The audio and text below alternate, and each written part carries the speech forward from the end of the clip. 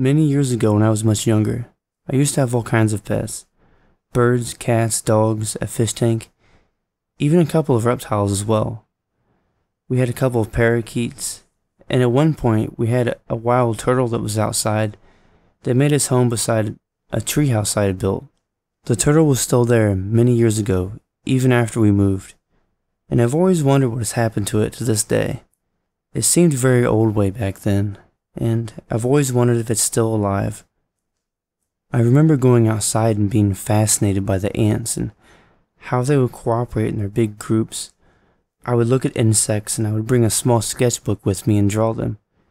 I always had a big imagination and always wondered what it would be like to be a bird, to fly, to be completely free and to go where you want whenever you want, to soar high and look at the ground below you and everything in the landscapes.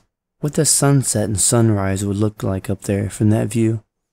My fascination with nature and the world around me led me to start drawing everything I had seen, as an attempt to document the world around me to better understand it. When I reflect on my childhood about all the times that I spent drawing birds and studying them, it now gives me a different perspective on life, to see things from a different point of view, to always keep that imagination that I had as a child, and to use that imagination to help me create new works of art. We tend to think of ourselves as separate from nature, but we are as one with nature. It's a part of us. My childhood memories will live on forever as an artistic expression from ink to paper.